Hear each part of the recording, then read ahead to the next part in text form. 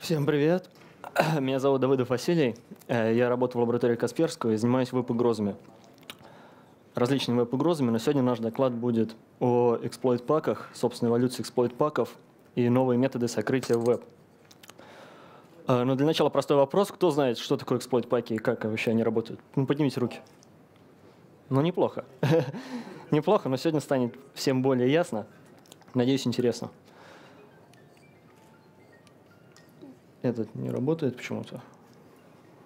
Придется щелкать здесь. А, ну, для начала посмотрим видео. Оно запущено, нет? Александр, не поможешь мне? Плей не работает.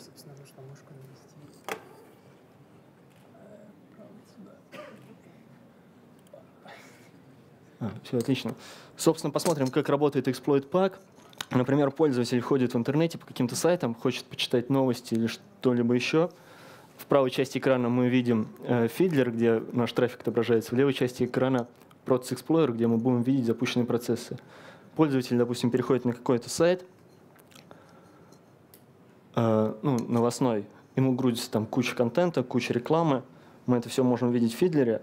Допустим, каким-то образом, либо с рекламой, либо ну, различными способами, может попасть какая-то вредоносная ссылка, мы этот URL увидим в Фидлере, пользователь ничего не подозревает, продолжает работать в браузере, смотреть рекламу, и вскоре мы увидим, что в Process Explorer у него э, в, от имени разных процессов вот, запускаются файлы и PowerShell скрипты. Э, тем самым пользователь, ну, он получил какой-то эксплойт, это мы видели в Фидлере. Э, пользователь ничего не подозревает, может продолжать дальше работать, там, смотреть погоду или делать что-то еще. Тем самым у него на компьютере запустились ну, целевые экзешники, и пользователь, собственно, был поинфекчен. Вот. Сейчас видео закончится, и мы перейдем дальше. Собственно, такая схема, она работает до сих пор и очень давно, но маловарщики пытаются скрываться и остаться незамеченными. Но о чем мы сегодня поговорим? Это вообще эксплойт-паки, какие цели преследуют маловарщики, как устроены современные эксплойт-паки, э, в частности, посмотрим Angular, Neutrino пак и Nucleo пак. Э, посмотрим, как стали проверять софт на компьютере пользователя и самое интересное, что интересно малварщикам и как они это делают. Следующий раздел это будет использование, да, использование криптографии в эксплойт-паках, как они с помощью криптографии тоже пытаются оставаться скрытными, чтобы э, аналитики и детектирующие системы не могли их отлавливать. Ну и также поговорим про серверную часть, на каких доменах все это хостится, откуда берется и как, собственно, с серверной стороны они пытаются скрываться. Э, цели, которые преследуют малварщики, ну, это, собственно, подгрузить вредоносный код на машину пользователя желательно незаметно, обход э, средств защиты, которые могут быть и на компьютере пользователя, и на каких-то гейтвеях, где-то посередине, противодействие последующему анализу, чтобы э, каким-то образом собранные эксплойты, шелл-коды и полезная нагрузка э, не могла быть потом проанализирована и воспроизведена. Ну и также таргетированная дача эксплойтов, чтобы эксплойты не доставались всем, кому не попадя, с новостных сайтов, с рекламных, а ну, каким-то образом отдавались более целенаправленно. Ну, как раньше выглядел эксплойт пак, что, собственно, такое традиционный эксплойт пак?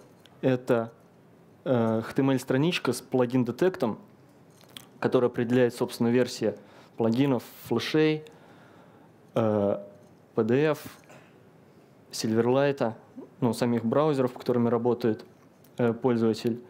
И если версия подходит, у малварщика есть, соответственно, подходящий эксплойт, он, ну, он, собственно, загружает его на компьютер жертвы, ну, он там отрабатывает, поскольку версии уже были проверены. Это так выглядело все традиционно изначально. Теперь все стало намного труднее, и современный exploit pack, страница HTML, представляет из себя э, довольно-таки сложную страницу с кучей различных тегов, в основном с обфусцированной информацией, похожая на JavaScript, но по-настоящему там находится мусор, и это вообще не JavaScript, а другие теги, из которых, собственно, JavaScript потом будет собираться, э, собираться exploit pack. Э, ну, exploit pack также содержит несколько модулей, которые проверяют софт и грузят контент. Помимо этого появился еще обфускатор, который это все обфусцирует и выставляет непонятные свойства э, различным объектам, но это сделано для, в первую очередь для антиэмуляции, чтобы, э, чтобы эмуляторы не доходили до нужного куска кода. Ну и также, если мы запустим это в отладчике под браузером, в режиме отладки, то до функциональных частей мы тоже не дойдем, потому что все время нас будут загонять не в ту ветвь, и мы будем ну, обращаться к неизвестным объектам, но по факту без режима отладки до тех модулей мы доходим. А, ну, что из себя представляет exploit pack? Это генерация, ну и, собственно, сама лендинг-страница. Ну, та страница, про которую я говорил, она называется лендинг-страница который загружается с определенного домена, проверка софта на компьютере пользователя – это не только проверка плагинов, но проверка софта, помимо браузерного. Ну, чек плагин я сказал. Дальше подгрузка эксплойтов, ну, с шифрованием или без, и загрузка, полезная нагрузка, то есть экзешники, паешники и так далее. Э, сейчас поговорим про проверку софта на компьютере пользователя. В 2015 году, незадолго, еще в смысле задолго до того, как вышла уязвимость 24.13 э, для браузера Internet Explorer, которая позволяла со страницы браузера читать локальные файлы у пользователя. Тем самым малварщики это уже использовали и могли, ну, если мы увидим, э, здесь есть ну, ключевые слова VMware, DLake, DLake Parallels, VirtualBox и так далее – то есть фактически код проверял э, на компьютере пользователя нужные DLL и не работал на тех машинах, на которых есть ну, из-под виртуальных машин. И, соответственно, много каких DLL проверял. Одни из этих DLL были экзешниками, DLL э, ну, детектирующих систем, собственно, антивирусов и так далее. Вот. Ну, ресурс, обычно эти файлы подгружались как картинка – просто проверялось наличие есть или нет. И такую технику они используют до сих пор, но ну, Microsoft эту уязвимость уже прикрыл. Э, ну, юзер-агент и реферер – это проверять можно прямо из браузера. Сделано для того, чтобы эксплойт, эксплойт работал только, э, ну, эксплойт пак, только подгруженный с определенного реферера, чтобы это не воспроизводился без полной схемы.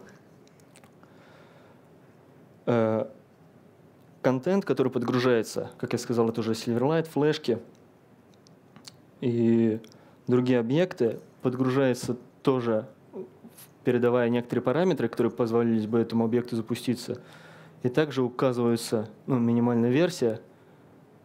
Ну, это тоже часть плагин э, детекта как бы на компьютере пользователя. Ну, на предыдущих слайдах, то, что я это рассказывал, это в основном относилось к Кандлеру и к Нуклеопаку. У них такие большие лендинг-страницы, которые, собственно, делали весь функционал э, со стороны JavaScript и HTML. Э, Neutrino Pack поступил совсем по-другому. Э, ну, у меня была статья, которая подробно рассказывает его работу. Э, но суть заключается в том, то, что у нас также идет якобы HTML-страница, за ней, вот видите, флешовый эксплойт – но если мы посмотрим э, на тело э, лендинг-страницы, то мы увидим, ну, собственно, JavaScript фактически ничего из себя не представляет, лишь несколько параметров каких-то, и сразу загрузка флеши. Весь функционал, который я описывал раньше, ну, который свойственен эксплойт-пакам, э, заключался внутри флеша. Если мы посмотрим на этот флеш-объект, сейчас, на этот флеш-объект, то мы увидим обфусцированную флешку. Обфусцированную флешку, которая не каждым open source э, деобфускатором открывается. Ну, опускаться они все время дорабатывают, и как бы open source тулзы обычно это не открывают. Под э, диафусырной флешкой мы видим уже функционал тот, который э, в Angular в нуклеопаке используется из JavaScript. То есть вы видите там проверку версий, вставку на страниц объектов. Э, ну, более подробная картинка это здесь. Под цифрой 1 это обфусцированный флеш объект. Под цифрой 2 пример одной из функций, которая э, берет бинарный объект, который под цифрой 3 мы видим несколько флешек, HTML, ну, это браузерные эксплойты, э, которые под цифрой 2, соответственно, это функция, которая берет один из объектов и вставляет его на страницу. Проверка версий э, ну, флеша также может осуществляться из флеши, здесь нет ничего необычного, но просто вся суть в том, то, что весь этот функционал они скрывают внутри одной флешки, и тем самым в трафике у нас и ну, не, не палятся, как говорится, перед детектирующими системами и аналитиками.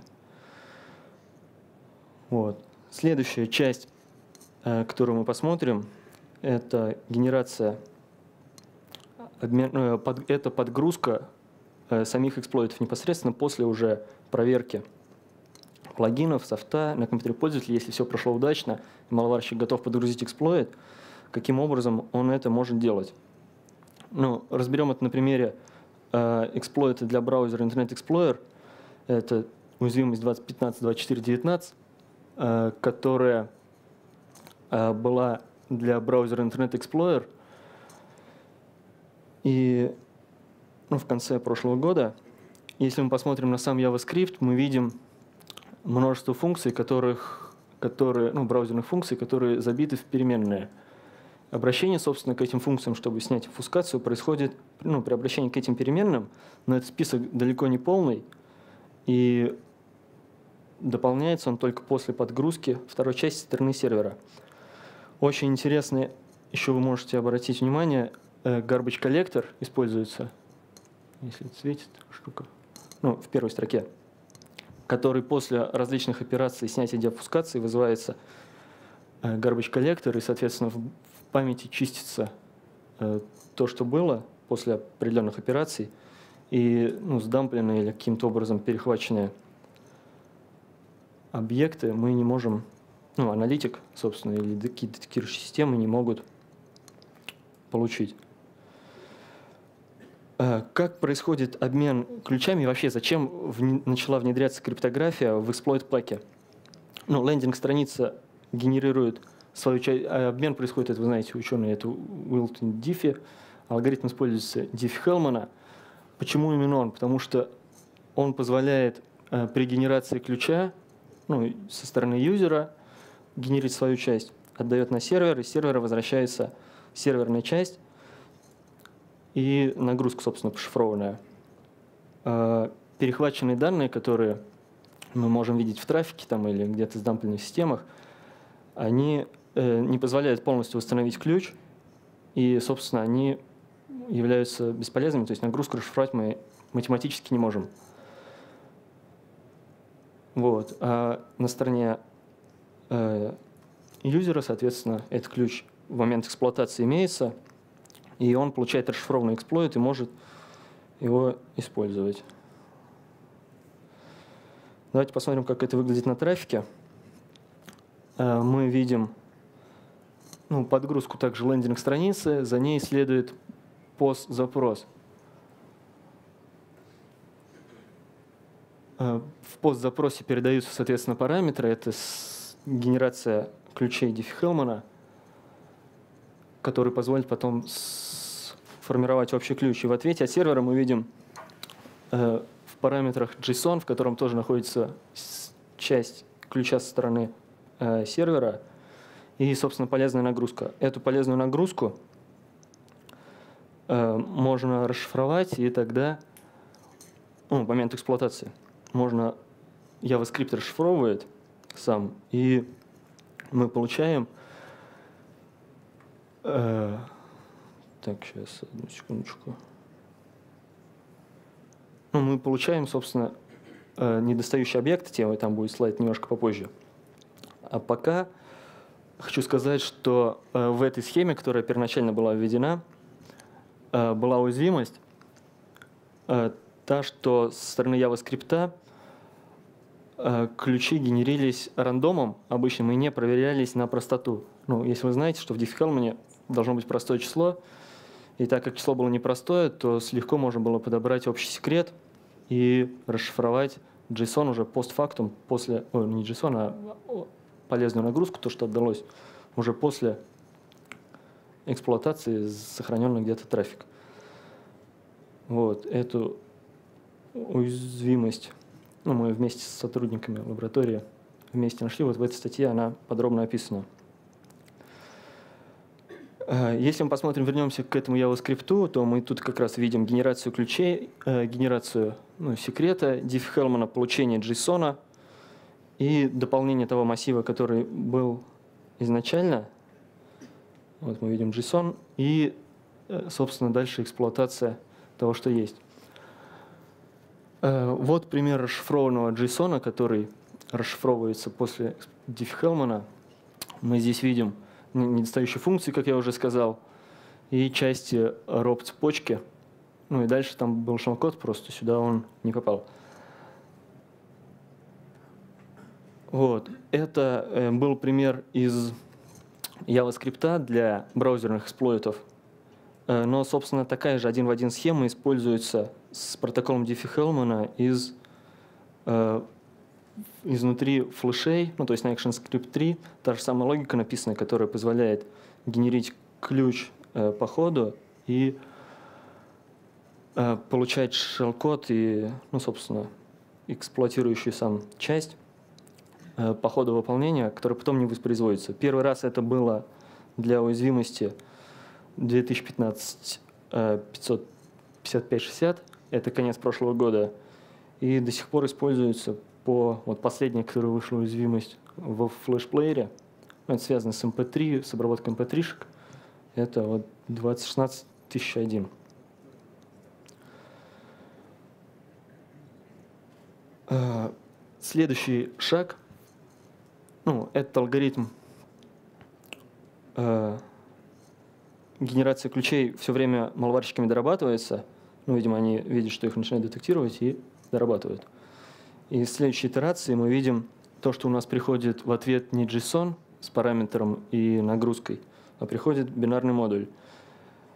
Э, ответ они стали шифровать. Если мы видим, мы получаем array8, и вот вызывается тут в конце функция, которая расшифровывает эту вещь, которая...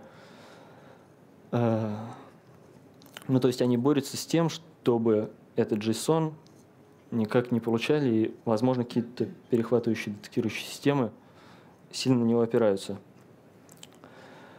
Э, следующий шаг в обходе сэндбоксов и детектирующих систем, э, которые используют э, ну, хуки на стандартные функции, на, в частности на перехват JSON, когда перехваченный результат JSON стандартных функций можно уже использовать маловарщики, собственно, написали свой парсер JSON и вызывали его.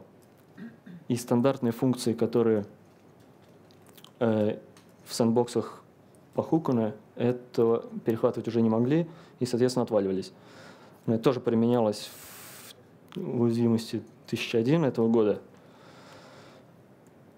Смотрим дальше. Но не все эксплойты, э, которые раздаются эксплойт-паками, используют данную схему. В основном там были номера проведены, это были свежие эксплойты. Когда эксплойт пак начинает развивать какой-то свежий эксплойт, он использует какие-то новые схемы и алгоритмы. Например, уязвимость 6332 для э, VB-скрипта э, 2014 года, она довольно-таки старая, и во всех эксплойт, ну, во всех эксплойт которых используется, она отдается без всякой криптографии, без ничего. Но она уже есть в open source, но все равно до сих пор используется. Ну, возможно, потому что ее все знают, возможно, потому что она достаточно надежная, она не роняет браузер, она использует там неправильное обращение э, к массивам в VB-скрипте и позволяет ну, из VB-скрипта э, грузить и запускать в пользователя полезную нагрузку тоже. Код обфусцированный, но, собственно, никакой криптографии, ничего здесь нету. собственно, подгрузки, эксплойтов, шифрования все. Теперь поговорим немножко о генерации лендинг-страницы и о доменах, которые там используются. Ну, возьмем для э, примера Angler. Видим, что грузится э, лендинг-страница, дальше грузится ну, постзапрос, который, э, про который я говорил. Дальше грузится флешовый эксплойт, тоже, кстати, с постзапросом. А малварщики, когда отдают, вы заметили, возможно, домены здесь были довольно-таки странные, длинные. Малварщики не используют один домен очень долго, тоже в противодействии того, чтобы их отслеживали. И э, на странице конфигурации, ну, эксплойт пака, э, можно ну, получать следующие следующие домены и урлы, которые меняются. Собственно, интересная особенность, что если больше загруженных доменов, на которых можно получить лендинг страницы нету, то возвращается Google. Ну, собственно, чтобы пользователь не эксплуатировался, если у малварщика нету доступных сейчас доменов. Также очень интересный параметр – это доступные IP-адреса, разрешенные, точнее, IP-адреса, э, которыми exploit pack может регулировать, кому отдавать exploit и добавлять, собственно, в черный список, если, ну, если мы постоянно выкачиваем exploit, то несколько раз проэксплуатировавшись, наш IP-адрес будет забанен, и больше с этого IP-шника мы получить не сможем. Но по-настоящему это уже не совсем даже новая схема. Эксплойт-паки, распространяющиеся через рекламные сети, используют, собственно, механизмы этих рекламных сетей, которые тоже позволяют регулировать, кому отдавать, в какие регионы, собственно. Например, эксплойт-паки Angler и Nucleopack э, под русским IP-шником, если мы с русской машины зайдем, ну, из наших сетей, тогда нам он не отдастся.